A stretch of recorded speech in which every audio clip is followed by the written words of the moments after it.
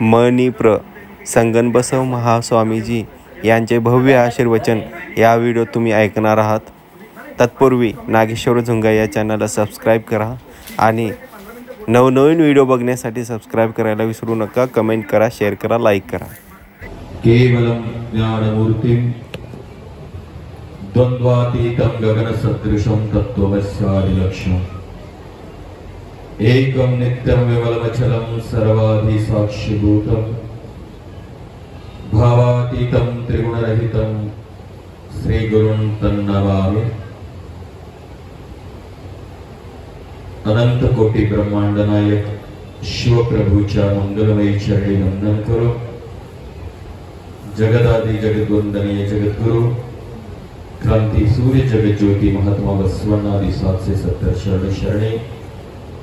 शिवयोगी संत शिरोमणी मन्मथ माऊलींच्या संजीवन समाधीचं हृदय मंदिरामध्ये स्मरण करून परमपूज्य वसुंधरा रत्न राष्ट्रसंत सद्गुरु डॉक्टर शिवलिंग शिवाचार्य मौलींच्या चरणी विनम्र भाव समर्पित करून या उदगीर मठाचे कर्तुर पुरुष कर्तुरगादी श्री गुरु हौगी स्वामी महाराजांच्याही चरणी वंदन करून या पवित्र पावनाशा या उदयगिरी नगरीमध्ये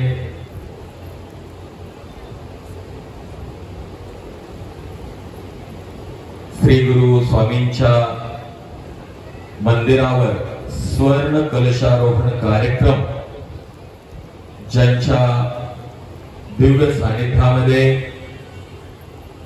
त्यानिमित्तानं चाललेला हा अखंड शिवनाम सप्ताह ग्रंथराज परमहर्ष पारायण सोहळा सुरू आहे. असे आपणा सर्वांचे मार्गदर्शक आमच्या आत्मीय परमपूज्य सटस्थल ब्रह्मे सद्गुरु डॉक्टर शंभुलिंग शिवाचार्य महाराज यांच्या चरणी वंदन करून या ठिकाणी पारायणासाठी बसलेले समस्त सद्भक्त मंडळी कीर्तनकार मंडळाचे अध्यक्ष नावंदे गुरुजी उद्धव महाराज हैबतपुरे सुंदर ज्यांच्या सुमधुर वाणीतून आपण पंचाक्षरी षडाक्षरी मंत्र ऐकता ते रविराज केलेले त्यांचा संच. खरोखरच हा सुवर्ण कलशारोहणाच्या निमित्तानं सुवर्ण योग गुरुमाऊलीने तुमच्या आमच्यासाठी सर्वांसाठी आणून दिलेला आहे. हा योग म्हणजे या एवढा सुंदर अखंड शिवनाम सप्ताह आपल्या सर्वांसाठी आयोजित केलेला एका कार्यक्रमातून गुरुमाऊलींनी साध्य केलेला आहे. आणि म्हणून तुम्ही आम्ही सगळेजण भाग्यवान आहोत की या परमदर्श ग्रंथाचं पारायण आपण करत आहोत. परमदर्श ग्रंथ ज्याच्याबद्दल किती जरी वर्णन केलं तरी कमी आहे. कारण परमरहस्य ग्रंथ ग्रंथराज थोर शिवयोग विचार सांगितला. ज्याच्यामध्ये शिवयोग सांगितलेला आहे ज्याच्यामध्ये शिवा जीव आणि शिवाचं ऐक्य जीव आणि शिवाचं मिलन सांगितले परमरहस्य एक रहस्य ग्रंथ आहे. त्याच्यामध्ये गुपित दडलेलं आहे. आणि ते रहस्य भगवान शिवानी माता पार्वतीला सांगितले. म्हणजे एखाद्याच्या मनातलं गुपित जर एखादं रहस्य जर आपण काय काय होत? प्रकृती काया आणि ज्ञान कायेचं रहस्य सांगितलं सांगितलं नाही? प्रकृती काया म्हणजे काय आणि ज्ञान काया म्हणजे काय? सहावाद्या खूप सुंदर ज्ञानाचा विषय आहे. प्रकृती काया म्हणजे जसं आलो तसं जन्माला जसं आलो तसं जाणं म्हणजे प्रकृती काय. किंवा प्रकृती काया म्हणजे अरण्यामध्ये आलेलं वृक्ष झाड प्रकृती काया म्हणजे पडीक जमीन. अनेक उदाहरणं देऊन सांगितली. मग पडीक जमिनीमध्ये तसंच पेरतात का लोक? काय की महाराज आम्ही उदगीरमध्ये राहतो कसं पेरतात आम्हाला माहीत नाही. शेतकरी शेती करत असताना जमीन पडीत जमिनीमध्ये पेरत नाही. त्या जमिनीमध्ये अगोदर स्वच्छ करतो जमीन त्याच्यामधले काटे कुटे झुडप पालव्या सगळ्या खंदून बाजूला काढतो. मग त्याच्यामध्ये नांगरून कोळवून हे की नाही सगळं झाल्याच्यानंतर तरीही पेरणी करत नाही. त्याच्यासाठी मृग नक्षत्रातल्या पावसाची वाट बघतो. आणि सुंदर बीज उगवण्यासाठी योग्य पाऊस पडला की मग शेतकरी पेरणी करतो. तुम्हाला वाटतं महाराजाकडे आल्याबरोबर पाया पडल्याबरोबर दर्शन घेतल्याबरोबर आम्हाला आशीर्वाद मिळावा? आम्हाला ज्ञान व्हावं? एवढं सोपं आहे का? त्याच्यासाठी सुद्धा जसं शेतकरी शेतातलं सगळं ते स्वच्छ करतो तसं अगोदर आपलं अंतकरण मन बुद्धी चित्त अंकार षड विकू षड विकू सगळे बुद्धी कुरळेने खणून बाहेर काढावे लागतात. आणि मग शुद्ध ज्ञान नांगर धरून मग गुरुकडे आल्याच्यानंतर मग गुरु काय करतात? गुरुने बीज देवोने पिकविले. वाचलात का? आजची चोवी आहे काय की महाराज थोडं लक्ष नव्हतं. गुरुनी बीज देवोनी पिकविले वनाशी शेत हे नाव पाविले.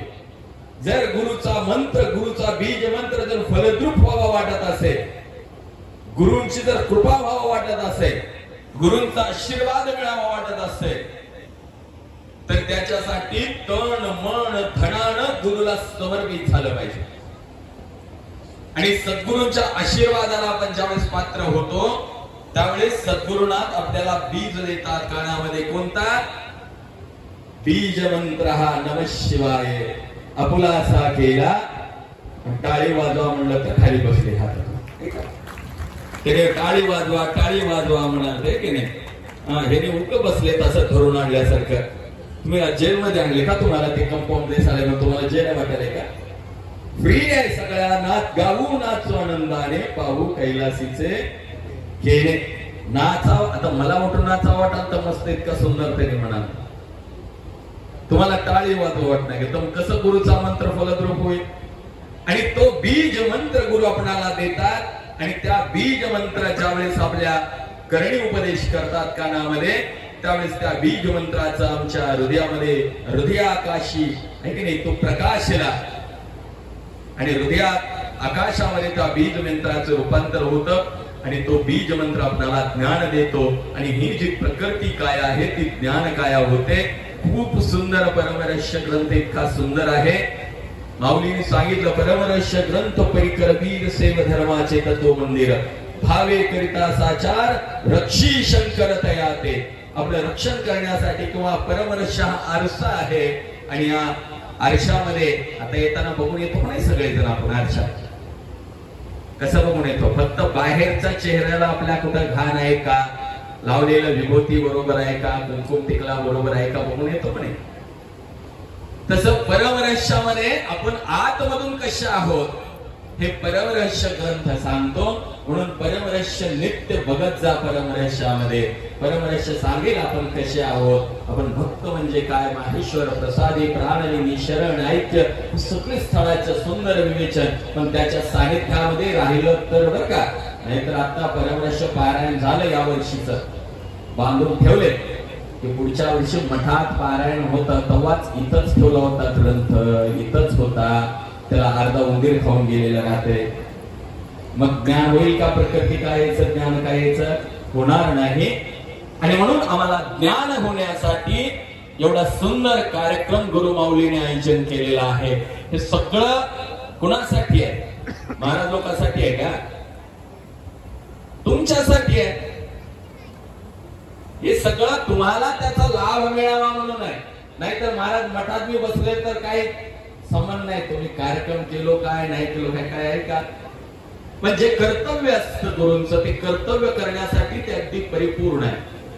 नेहमी रात्रना दिवस तुमच्यासाठी समाजासाठी राष्ट्रसंतांच्या प्रेरणेने ते विचारधारा घेऊन तुमच्यापर्यंत नेहमी येतात. आणि म्हणून सुंदर काल सगळ्या महाराजांनी सांगितल्यामुळं आज संख्या भरपूर वाढली आणि आता थोडं कोपरा रिकामा राहिले तिकडचं आता ते सुद्धा भरून काढायचं काम कोणाचं? आमच्या दोघाच. राहिलेलं आता तेवढा मंडप पूर्ण भरायचं का? तुमचं आहे. आणि मंडप फक्त पारायणापुरताच भरू नका.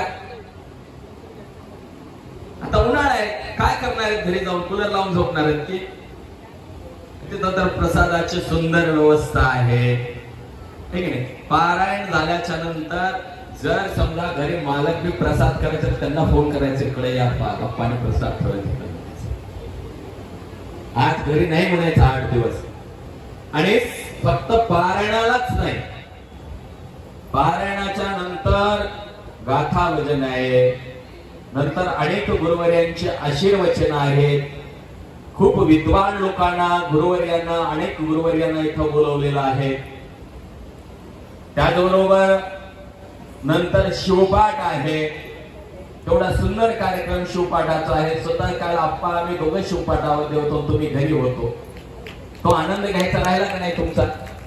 पुन्हा येणार नाही बघा. पुन्हा आठ दिवसाच्या नंतर तुम्ही म्हणलो आपण शिवपाठ करू सगळे मिळून. म्हणलं तर बोलणार आणि म्हणून त्याच्यानंतर प्रसाद कीर्तन एवढं